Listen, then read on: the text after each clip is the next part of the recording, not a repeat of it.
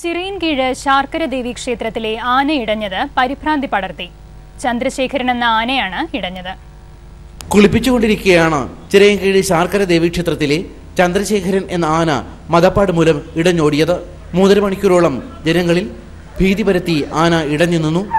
സംഭവം നടക്കുമ്പോൾ ശാർക്കര ക്ഷേത്രത്തിലെ തന്നെ ആഞ്ജനേയൻ എന്ന ആനയും വർക്കല ശ്രീ ജനാർദ്ദന സ്വാമി ക്ഷേത്രത്തിലെ സരസ്വതി എന്ന ആനയും അടുത്തുണ്ടായിരുന്നു. മതപ്പാടുള്ള ആനയെ കുളിപ്പിക്കാൻ കൊണ്ടുപോയപ്പോൾ കാലിൽ ചങ്ങലകൾ ഉണ്ടായിരുന്നില്ല.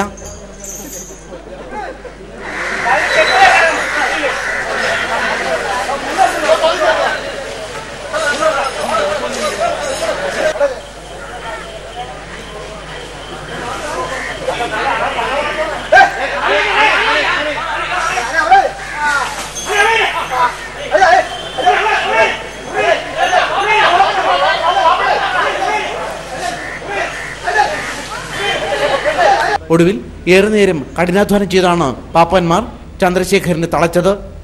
A C B news Chirayinkeezh